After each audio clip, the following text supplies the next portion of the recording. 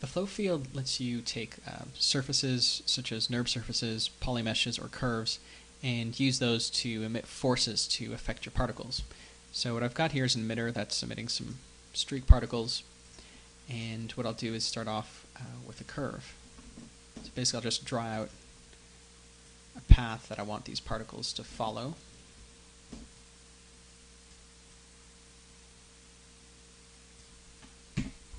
And then have both of them selected, both the curve and the particles, doesn't matter the order, and create a flow field. So I'll walk you through some of the attributes um, for the flow field. The first one um, that I'll show you kind of gives you an idea of what the system is doing. So I'll turn on this preview samples and lower the samples down to 10. So with this accelerator that I've got, um, basically what it does is it takes in the case of uh, parametric surfaces like NURBS curves or uh, surfaces, and it creates 10, in this case 10 sample points along it, which are these points in red. Um, what you see in green is the point that the particles are currently following. So as they get further along, they pick up on the next point. Uh, the number of samples does affect performance, but it's really orders of magnitude. So going up to um, even 500, which is kind of a default that I use, uh, you don't really see much performance degradation, but you do get better results um, along the curve because you're sampling at more points. So running through some of the other um, attributes that we've got, there's the direction, and I'll turn off a couple of these other ones. And what the direction does is it controls how much the force the particles are moving along the tangent u, the normal, and the tangent v of the surface. Now, in the case of curves, tangent v doesn't apply, but uh, you know, if I move the uh, the curves along tangent uh, along the normal direction, you see they get pushed away because the the normal of a curve points perpendicular to it. So for the curves, it makes pretty much the only sense to use tangent u. Now you can see that the particles flow along it. So I can use this direction speed or the tangent u as multipliers of that.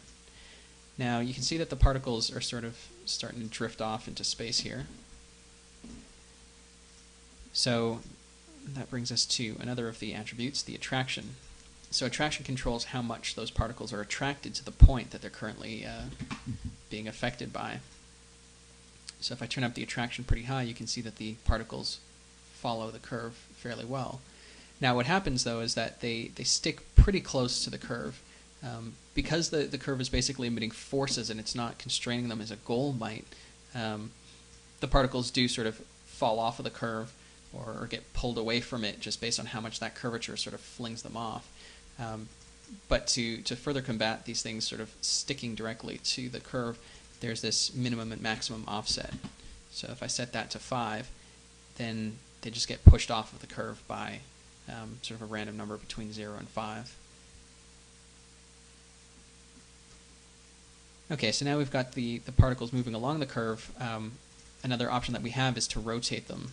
So again here, the axis of rotation can be a few different things. We can act, we can rotate them along the, the u uh, or the normal of the curve. In the case of the normal, it doesn't make much sense because basically the particles want to sort of spin against their direction. So to get them to rotate like a, a tornado would, um, we just want to set that rotation axis to uh, to the tangent u and now I can play that back and you can see that those particles are rotating around the axis.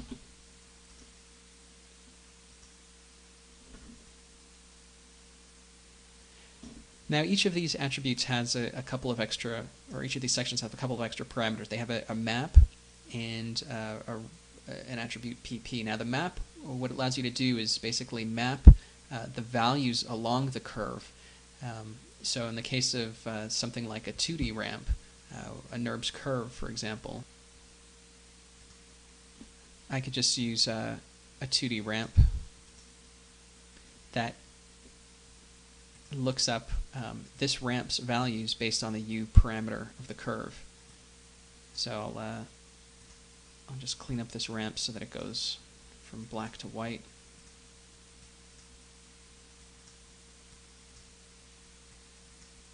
Sort of doesn't kick in for a little bit and then ramps in quickly. So you can see that the particles don't start off with any rotation, but when they reach a certain point of u value along the curve, they start rotating. And if we wanted to, we could just make that rotation really brief, so it's just got this one sort of blip where it gets some rotation right around here, and then it stops rotating.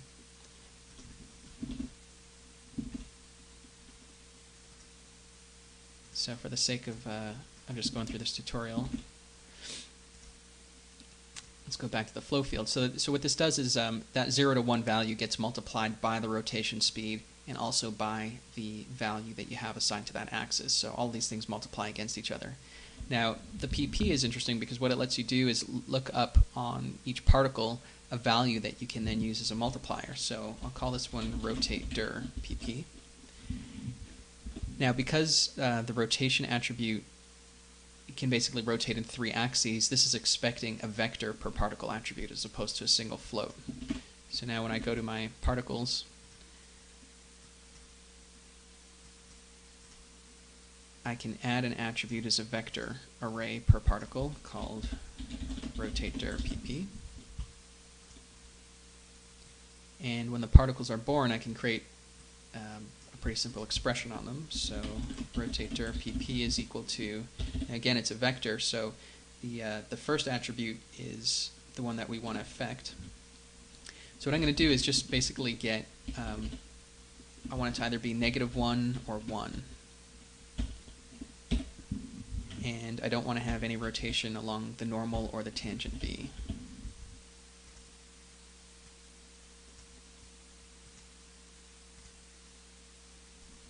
So now when the particles are born, you can see that some of them are spinning clockwise and other ones are spinning counterclockwise.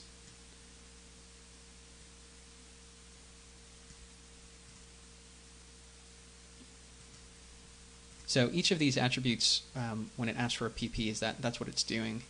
A couple of other options that you've got here are uh, magnitude PP, so how much overall force is, is happening per particle, and then you've also got your distance. Um, you can turn on and off a, a, maximum distance, so if the particles go, let's say, further than 5 units away, they just stop being affected. You can see these guys just sort of go off into the distance because they're no longer being attracted by the curve.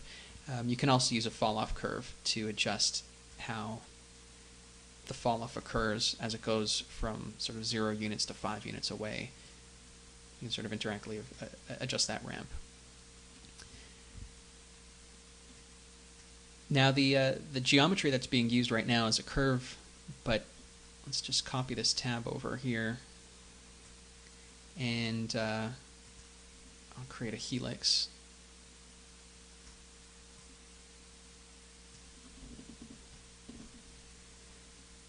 So if you open up the hypergraph uh, for a piece of geometry and basically get the shape node, so here's the, the helix shape, you can middle mouse button drag that onto the flow geometry. So now the particles are being affected by this helix curve.